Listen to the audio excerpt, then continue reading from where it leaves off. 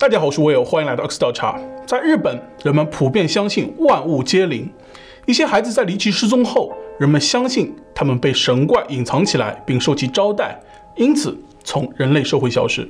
这也是我们经常听到的“神隐”的意思。久而久之，“神隐”一词被人们赋予了更神秘的色彩。今天要讲的是一位女孩在与家人参加一场挖竹笋的活动时不知所踪。事发后，警方派出警犬进行追踪。但他们追踪到同一位置后就停止不动，无法继续，就仿佛女孩神隐了一般。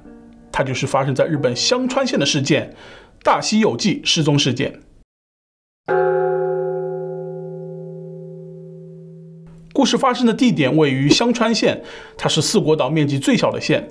该县中部有一座城市，名叫板出市，它是濑户大桥四国一侧的入口，这里造船以及化工业发达。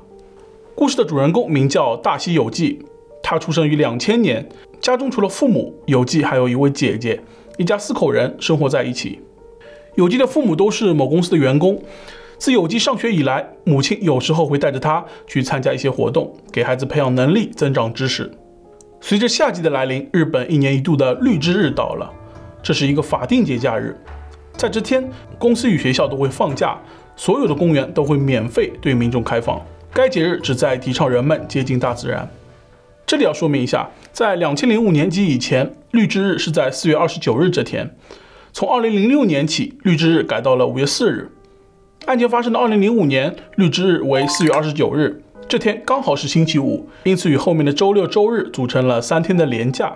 每当绿之日节日来临时，各景点都会搞一些特色活动来吸引游客。香川县板出市的五色台为了吸引游客，举办了一场挖竹笋的活动。五色台位于濑户内海沿岸，从山上可以观赏到濑户内海的美景。除了濑户大桥，还能看到周围的大小岛屿，景色美不胜收。有纪的母亲瞬间被五色台美丽的风景吸引了，再加上挖竹笋的活动也很有特色，因此她决定全家在绿之日这天前往五色台参加挖竹笋活动。然而就在这天，意想不到的事发生了。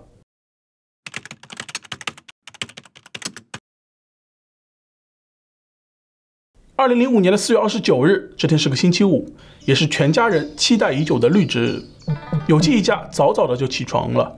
不巧的是，有纪的父亲临时接到公司打来的电话，由于一些紧急事务，他不得不去公司加班，无法与家人参加这次活动。有纪母亲觉得，既然都已经报名了，孩子们也很期待，于是他决定带着两个女儿，三人一起出发前往五色台。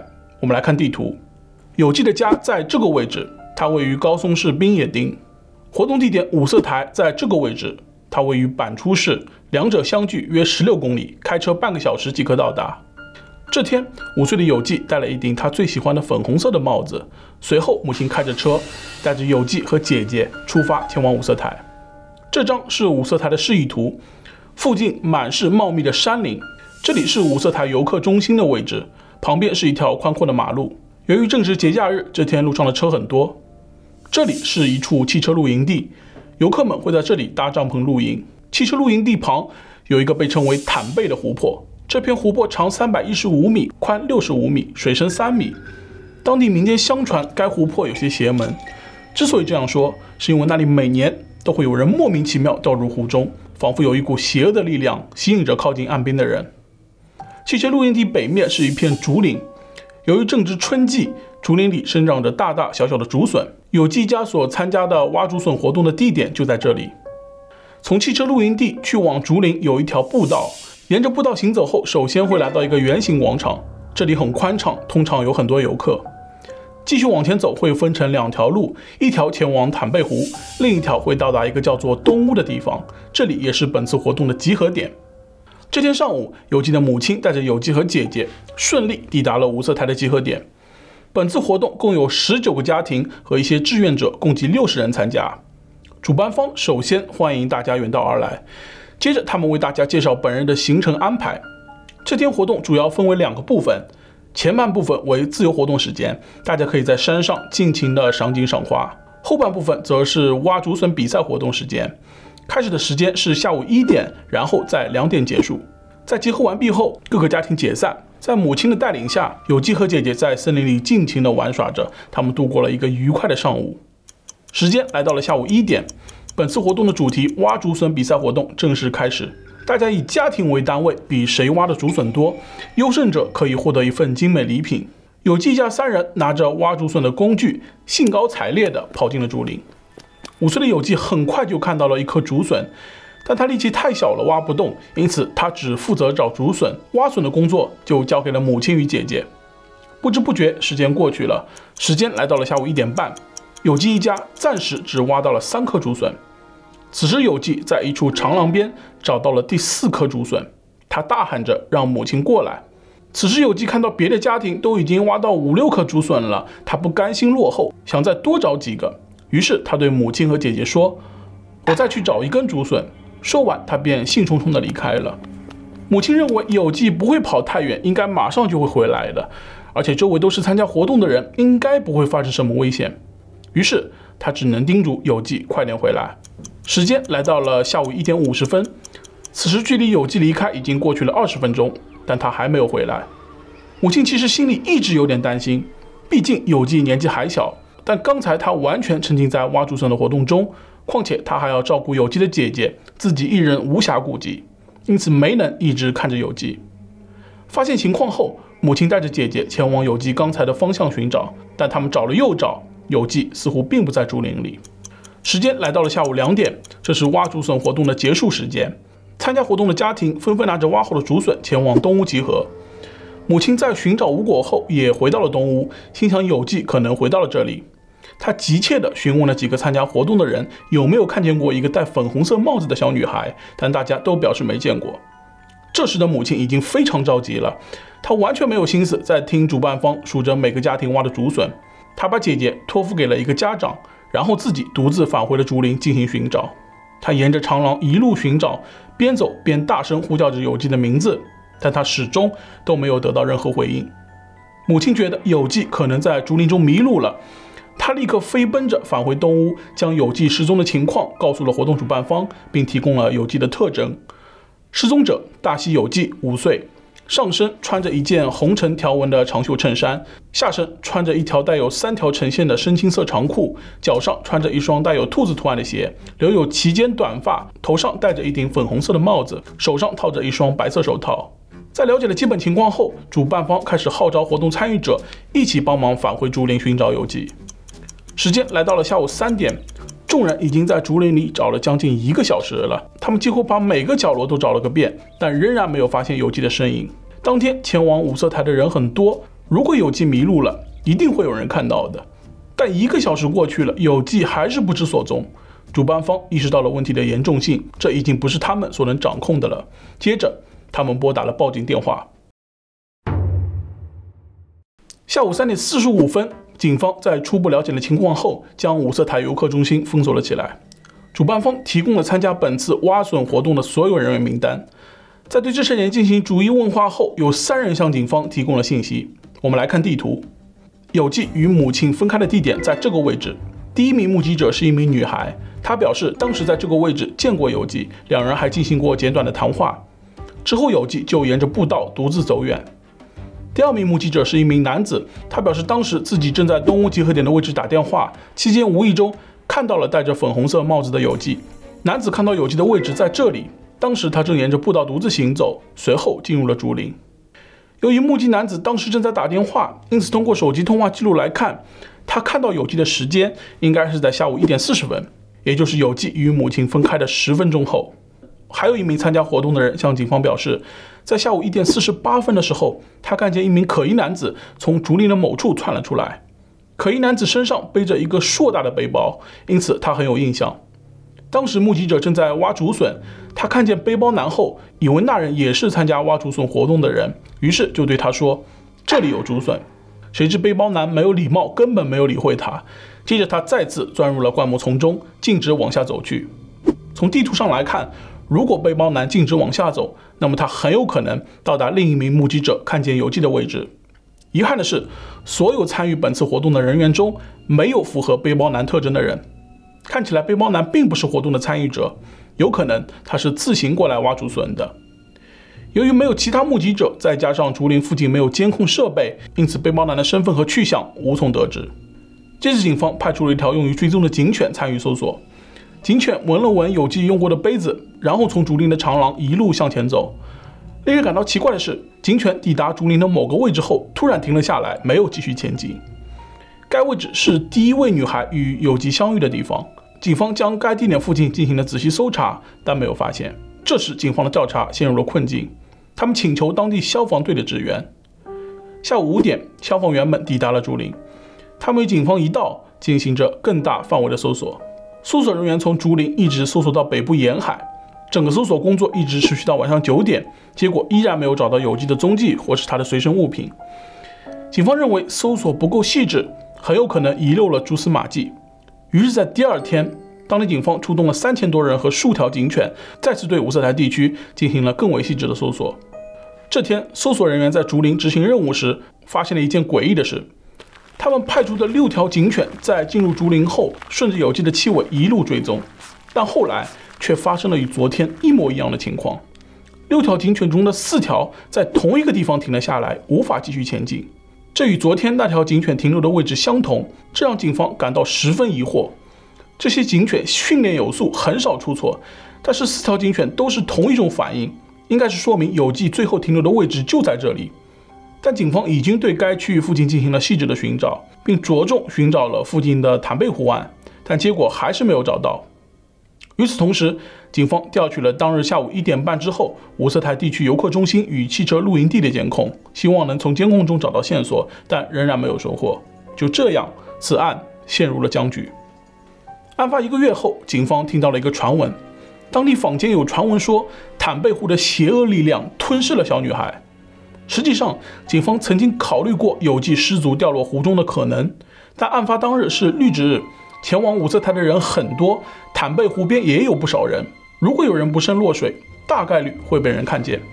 为了弄清真相，警方调集了多台抽水机，把湖中深达三米的水全部抽干，然后再派人到湖底的淤泥中寻找，结果没有找到有纪，也没有找到他的物品。无奈之下，警方向全国公布了有纪失踪的消息，希望有人能够提供线索。在此事件被公开后，震惊了全国，特别是警犬追踪到某地突然无法追踪的行为，引发了民间的猜测。不少人认为有纪可能真的遭遇了什么神隐事件，就像电影《千与千寻》中的小女孩那样，误闯入了神灵世界，与现实世界失去联系。然而，对于相信科学的民众来说，这样的解释无法令人信服。有机事件究竟是神隐还是人为？似乎只有找到它才能给出答案。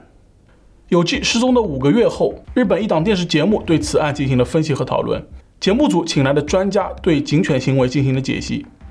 警犬的工作原理之一是追踪鞋子与地面摩擦时产生的摩擦气味，即使跟踪目标在某个地方被人带走，警犬也会继续跟踪嫌疑人留下的摩擦气味，因此跟踪不会就此停止。为此，节目组开展了一组实验，用实验验证观点的真实性。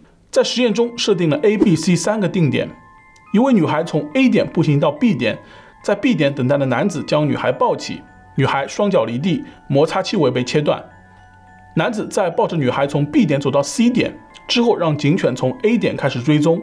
由于 A 到 B 的路程是小女孩自己走的，警犬很顺利地追踪到。然后从 B 点开始，警犬还是能准确地追踪到 C 点。这个实验说明了，即使有人将女孩抱起，女孩留在地面上的摩擦气味消失，警犬还是能够将追踪目标切换到抱着女孩的男人身上。而此案的情况是，警犬在追踪到一个地方后就停留了下来，无法继续追踪。这一现象也引发了大量网友的猜测。有网友大开脑洞，认为有纪可能被什么东西从空中带走了。能够实现这种效果的，可以是直升机，也可以是某种飞行动物。这样就可以解释为什么警犬追踪到某个位置后就无法继续了。直升机的情况应该很好被排除，因为一架直升机在竹林上空，其螺旋桨发出的声音是巨大的，盘旋空中马上就会被人发现，更不用说降落再带走一个小女孩了。当天没有看到直升机的目击报告。那么有没有可能被某种飞行动物带走呢？有纪身高一百零六公分，体重十五点五公斤，能够提起这样重量的飞行动物有鹰或雕。通常来说，它们最重可以抓起自身体重两到三倍重量的物体，因此这个动物一定自身也很大。比如金雕，它身长可达一百零二公分，翼展二点三米，体型大的金雕体重可达六点五公斤，理论上可以抓起重十五点五公斤的人。金雕是一种十分凶猛的动物，其捕食的猎物有数十种之多，世界各地也曾发生过多次金雕攻击人的记录。不过，这种猜测只存在理论上的可能，因为并没有在现场找到鹰或雕的羽毛之类的证据。有网友猜测，有纪可能被山里的野兽攻击，野兽的气味让警犬停在了原地。不过，发生这种情况的可能性微乎其微。警犬停留的地点位于一片竹林，案发当天，竹林里到处都是人。一个可以攻击人类的野兽出现，一定会被更多的人发现。即使没有发现，那么附近肯定会留下脚印或者其他痕迹。但附近根本没有野兽活动的踪迹，因此被野兽袭击的可能性不大。有网友猜测，有纪可能被背包男带走了。根据目击者描述，可疑男子身上背着一个硕大的背包，非常适合作案。有纪有可能被藏在了背包里。当天背包男被目击的路线，正好是他可以到达有纪最后被人看到的地方。假如该男子将一个身高一米多、体重十五点五公斤的人藏在背包里，那么在移动的过程中，有机的喊叫声也会被人听到。但如果有机当时是昏厥的状态，那么这种可能理论上是成立的。但根据那档电视节目组的实验。即便有机在背包里，警犬也能继续跟踪。有机最后被目击的时间是下午一点四十分，背包男被目击的时间是下午一点四十八分，期间经过了八分钟。当背包男径直往下到达有纪所在的地点，有纪早就已经离开了。虽然背包男与有纪的路线可能吻合，但时间并不吻合。背包男进入森林后，也未必一定会径直往下走，中途可能会改变路线。因此，这件事是否与背包男有关，还要打一个大大的问号。有网友表示，警犬追踪不一定百分百准确，周围的环境、警犬当天的状态都可能会对结果有所影响，而且还有很多方法可以躲避警犬的追踪，单靠警犬追踪还是很难还原事实的真相。有网友认为，带走有机的人也许是参加挖笋活动的人，他们专门会带走那些落单的小孩，可能不止一个人行动。在发现落单的有机之后，有人将他带走。然后他会转交给另外的同伙，最后开车驶离。当时五色台有许多家庭出没，有数不清的孩子，普通人根本不会记得谁的孩子头上戴什么颜色的帽子。另外，即便有人看到有人带着孩子上车，也不会感到有任何的不妥，他们一定以为把孩子带走的人是他们的家人。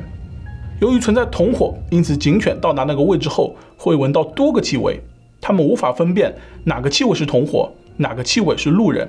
因此也就无法继续追踪了。值得一提的是，这起案件与发生在2019年的小仓美咲失踪案十分相似，都是一家人在假日期间去某个山里露营或是参加活动，而他们的父亲都临时有事无法参加活动，这或多或少对事件有所影响。因为母亲一人无暇顾及每一个孩子，危险往往就发生在不经意间。时至今日，大西有纪失踪案已经过去了十六年。如果他还活着，今年已经二十一岁了。警方模拟出一张有纪长大后的画像，以期待有人能够将他认出来。警方和有纪的家人依然没有放弃寻找。也许当年的小女孩真的是神隐了，希望有一天她能够平安归来。